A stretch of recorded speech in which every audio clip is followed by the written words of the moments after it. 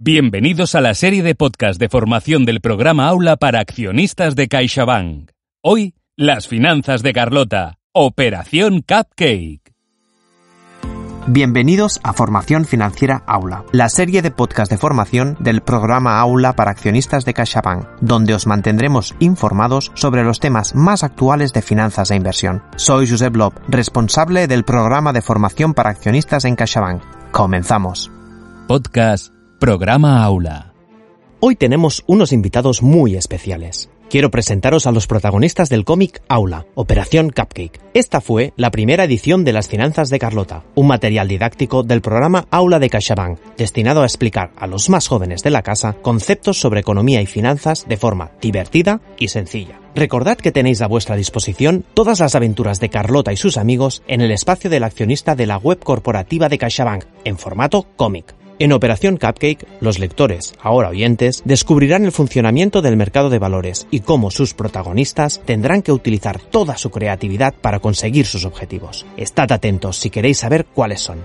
Empezamos en 3, 2, 1.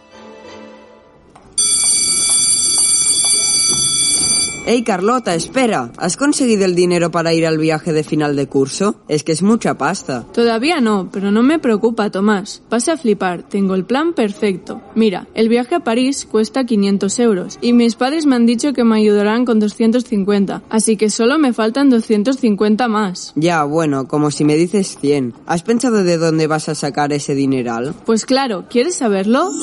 Del festival de primavera que organiza el cole. He pensado que podemos montar una mesa en plan parada para vender nuestros productos. Como ya sabes, soy una crack en hacer los mejores cupcakes del mundo. Calla, calla. Es que solo con nombrar esos cupcakes me pongo a babear. Están buenísimos. Pues ya está, lo dicho, montaré un puesto de cupcakes y así conseguiré el dinero que me falta. Me parece una gran idea, Carlota. La gente alucinará con tus cupcakes. Ven, corre, vamos a casa, que tenemos muchas cosas que organizar.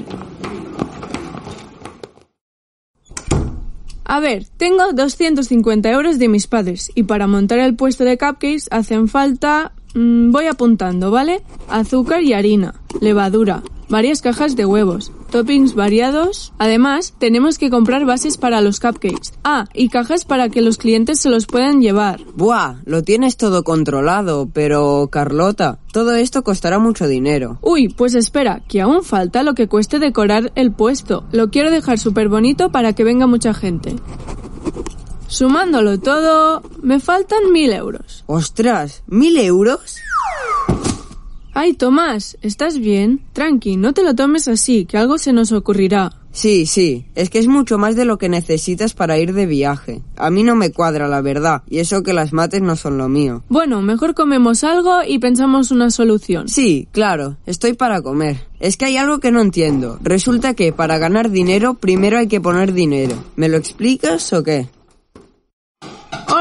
Hola, mamá. Hola, tía Raquel. Uy, ¿qué os pasa? ¿Por qué estáis tan alterados? Pues que intento encontrar la forma de conseguir el dinero que me falta para poder ir al viaje a París del cole y se me ocurrió montar un puesto para vender mis cupcakes, pero ahora se ve que es más complicado de lo que parece. Es que resulta que lo primero que hace falta es dinero. Hombre, pues claro, ¿qué os pensabais? Montar un negocio no es nada fácil. Se necesita esfuerzo, perseverancia, dedicación. Mira, un poco como en la repostería. Y claro, también hace falta invertir dinero. Para empezar, lo imprescindible para que una empresa tenga éxito es tener algo bueno que ofrecer. Y de momento, tú ya tienes un buen producto, Carlota. Sí, sí, de eso no tenemos duda. Gracias, mamá. Pero es que no sé cómo llegar de mis cupcakes al puesto para venderlos sin tener nada de pasta. Mira, de momento, si nos ponemos en modo finanzas, tenemos que hablar de capital, no de dinero. Oye, ¿y por qué no creas una empresa? Podría ser una sociedad con acciones. Con lo buenos que están tus cupcakes, habrá mucha gente dispuesta a invertir. ¿Una sociedad? ¿Capital? ¿Invertir? Uf. ¿Y acciones? ¿Qué son acciones? A ver cómo os lo explico. Mira, una sociedad es un acuerdo entre varias personas que deciden participar en un proyecto común. Estas personas invierten dinero con la idea de repartirse los beneficios.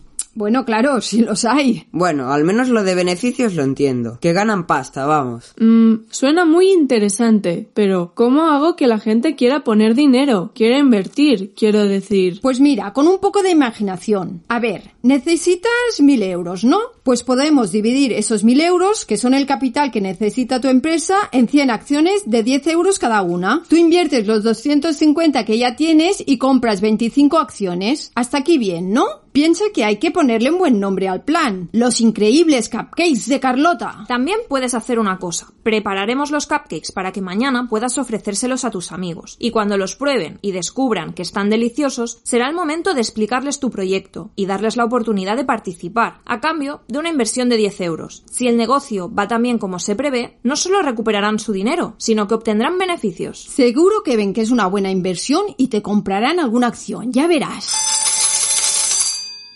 Al día siguiente en clase...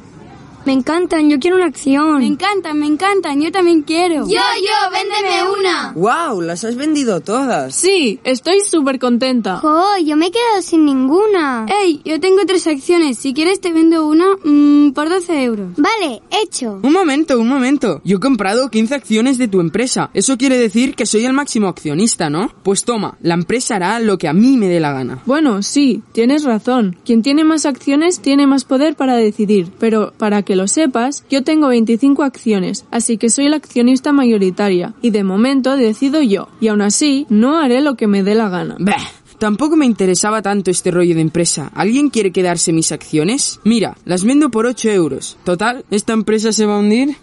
Yo, yo, te compro dos. No hagas caso, Carlota. Lo que importa es que ya tienes el dinero para el puesto de cupcakes. Pues sí, pero ahora toca invertir esfuerzo y dedicación para que la empresa sea un éxito y para eso necesitaré ayuda. ¡Eo, eo! ¿Alguien se apunta a ayudarme en la cocina? Tengo cinco acciones para los que me ayuden. Sí, sí, el club de cocina se apunta. Perfecto, haremos historia. Nos van a llamar de los mejores programas de cocina. ¡Toma! Unos días más tarde, en clase de matemáticas... Bueno, hoy en vez de hacer la clase normal quiero hablaros de una iniciativa muy interesante. Un proyecto para el Festival del Cole, tan ambicioso que hasta han creado una sociedad con acciones para poder montarlo. Para que todos lo entendamos bien, me gustaría que os lo explicara quien lo ha creado con sus propias palabras. Demos un fuerte aplauso a Edgar. ¿Cómo? Gracias, gracias. Como ya sabéis, mi idea es montar un puesto de rosquillas en el festival y como cuesta dinero, pensé en crear una sociedad. Además, estoy seguro de que como las rosquillas serán un éxito, los accionistas podrán obtener beneficios de su inversión. ¡Qué gran idea y qué original! Edgar, ¿has aplicado lo que explicamos en clase a un caso real? Eres un ejemplo a seguir sobre cómo resolver problemas de forma creativa. ¡Qué rabia da Edgar! Te ha robado la idea y encima ha quedado como un alumno modelo delante del profe. Carlota Tomás, esperad. Ya me han contado lo de Edgar. Qué fuerte, qué mentiroso. El caso es que como accionista esto me preocupa y he tenido una idea. ¿Qué os parece si hacemos cupcakes dejando un hueco en el medio? Como las rosquillas, podrían ser rosky cupcakes y así podremos competir directamente con las rosquillas de Edgar. Pero seguirán siendo cupcakes para la gente que los prefiere. Es genial, ¿verdad? Bueno, pues sí, sí, es una idea interesante. Muchas gracias, ¿eh? Ya lo pensaremos. ¿Rosky Cupcakes? Es que los accionistas están preocupados, quieren ayudar y se juegan su dinero, pero creo que es mejor seguir con nuestra idea inicial. Al final, cualquiera puede montar una empresa, pero no todas funcionan. Venga, reunamos al club de cocina y vamos a mi casa. Estos cupcakes tienen que estar listos mañana temprano. Y además, te digo una cosa, ¿desde cuándo Edgar sabe cocinar? Si no funciona su idea, los accionistas perderán su dinero. El Festival de Primavera tiene que ser un éxito por nosotros y por los que nos apoyan.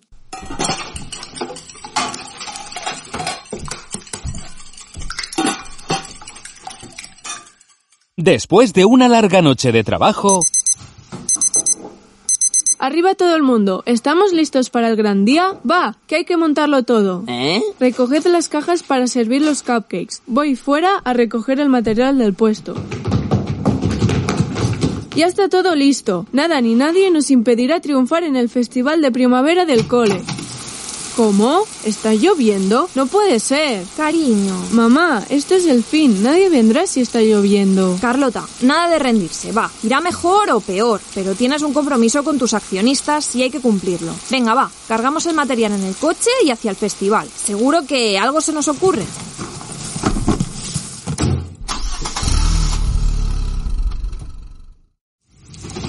Jolín, Carlota, qué desastre. No para de llover. Pues sí. Venga, anímate. Igual podemos vender algún cupcake. ¿Vender algún cupcake? ¿Quién se va a parar a comprar si llueve? ¿Y tú, Edgar? Pues tampoco creo que vendas muchas rosquillas. La diferencia es que yo ya tengo mi billete, así que para mí la empresa no es tan importante. Mira, déjanos en paz ya. Si no quieres esforzarte, no lo hagas, pero nosotros sí lo haremos. Y tenemos mucho trabajo por delante.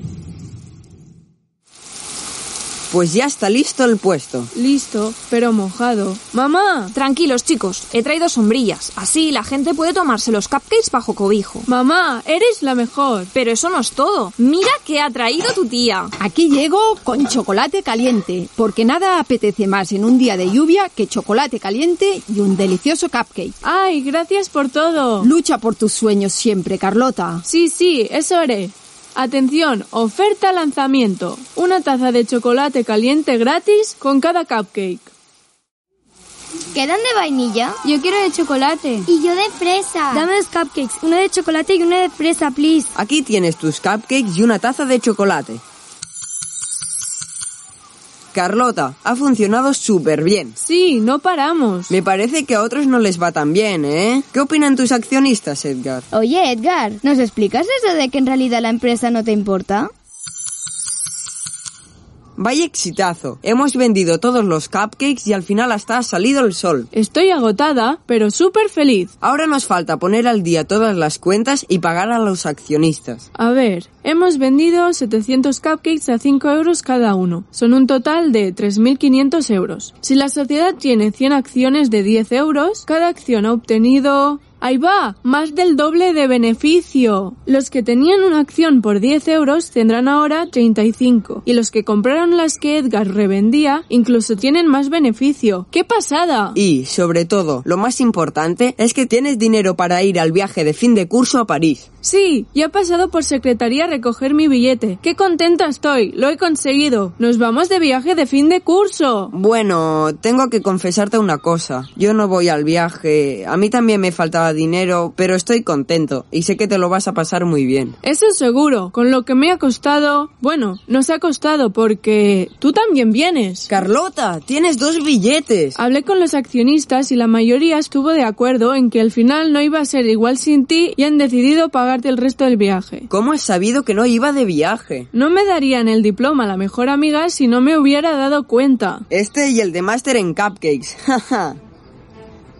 Y hasta aquí nuestra aventura de hoy donde Carlota y Tomás consiguen su objetivo. Creando una sociedad, vendiendo acciones y generando beneficios ganan el dinero necesario para ir al viaje de fin de curso a París. Recuerda, tú también puedes ser un pequeño inversor. Y es que aunque parezca complicado, no es tan difícil comprender desde jóvenes términos económicos básicos. Seguro que lo podrás aplicar a tu vida diaria más de lo que te puedes imaginar.